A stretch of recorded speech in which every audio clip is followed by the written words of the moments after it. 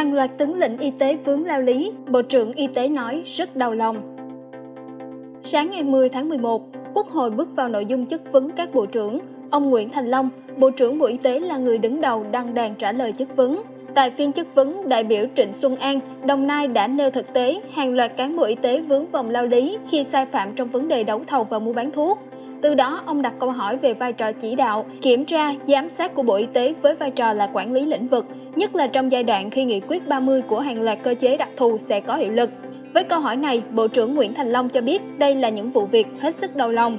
Nhìn nhận về nguyên nhân, ông Long cho rằng một phần do cơ chế, do sự hướng dẫn và đặc biệt là vi phạm này mang tính cá nhân.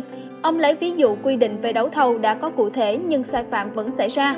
Bộ trưởng Nguyễn Thành Long cũng cho biết, Bộ tiếp tục rà soát và hướng dẫn thể chế liên quan đến quản lý và tăng cường kiểm tra, giám sát mua sắm, đấu thầu, phân cấp phân quyền. Tư lệnh ngành y tế cũng lý giải thêm, Bộ Y tế cũng đã thành lập đoàn kiểm tra, nhưng về chuyên môn, còn quản lý đấu thầu, tài chính là thuộc về địa phương. Bộ Y tế cũng đã có văn bản tới các địa phương, các đơn vị thuộc bộ về những cơ chế áp dụng mua sắm, nhưng các địa phương vẫn chưa áp dụng triệt để.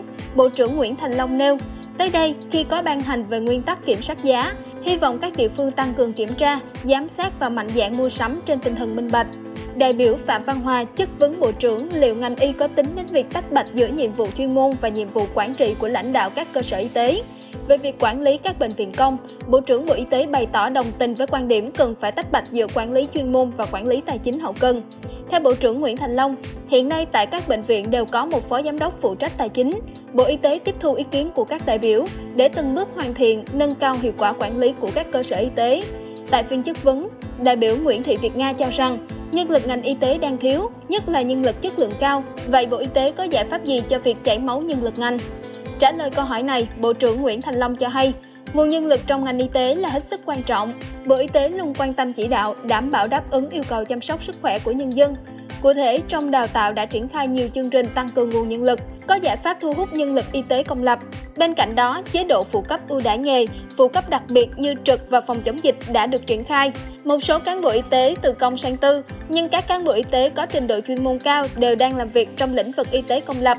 Tới đây, theo Bộ trưởng Nguyễn Thành Long, cơ quan này sẽ tiếp tục đào tạo nhân lực, tăng cường chế độ thu hút, đào tạo và đào tạo lại với trình độ cao hơn, cố gắng cải cách chế độ tiền lương phụ cấp để cán bộ y tế yên tâm trong công lập. Cũng về nhân lực y tế, đại biểu Nguyễn Quốc Hận đã đặt ra câu hỏi về việc nhiều bác sĩ liên kết để mở phòng khám riêng có làm ảnh hưởng đến chất lượng khám chữa bệnh hay không. Với câu hỏi này, Bộ trưởng Nguyễn Thành Long cho hay, khi tổng kết những năm gần đây, vấn đề hành nghề của các bác sĩ phụ thuộc vào nhiều yếu tố. Các bác sĩ được hành nghề, làm nghề, mở phòng khám ngoài giờ. Chúng ta không nên phân biệt rạch ròi giữa y tế công và y tế tư nhân, bởi chăm sóc sức khỏe cần hài hòa giữa công và tư, miễn sao nâng cao chất lượng. Bộ trưởng Nguyễn Thành Long nêu quan điểm. Nhưng mặt khác, chúng ta cũng có quy định quản lý thời gian hành nghề, đảm bảo sức khỏe để cán bộ y tế thực hiện nhiệm vụ, nghiêm cấm các đơn vị không thực hiện nhiệm vụ mà đưa ra dịch vụ tư nhân.